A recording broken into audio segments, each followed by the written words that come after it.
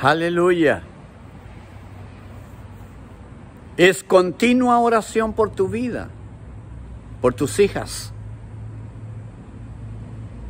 Orando minuto a minuto de la vida que el Eterno nos da para que tú y tus hijas vivan las experiencias más extraordinarias con el Eterno a través de Yeshua, nuestro Mesías, quien nos redimió, nos salvó, nos rescató, que dio su vida por ti, dio su vida por tus hijas.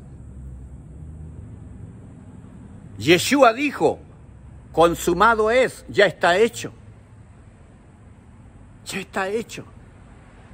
Tú solamente tienes que creer, adorar, dar gracias, caminar en la convicción de saber que el Eterno cuida de ti y cuida de tus hijas, que Él hace resplandecer su rostro sobre tus hijas, sobre tu vida, tu vida en bendición, tu hermana bendecida, tu sobrino bendecido con buena salud, tu sobrina liberada en el nombre de Yeshua, nuestro Mesías.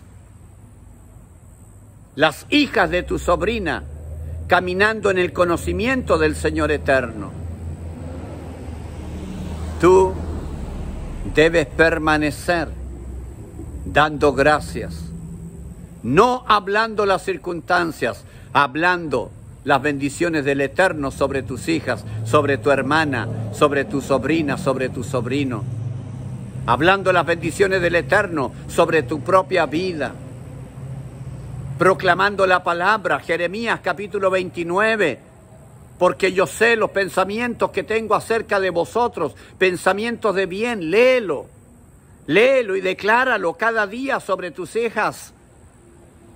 Lee, por favor, Primera de Corintios capítulo 2, verso 9, y habla esta palabra en fe sobre tu propia vida y sobre tus hijas.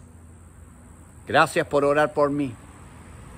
Gracias por orar por mi vida bendecida, cada día más bendecida.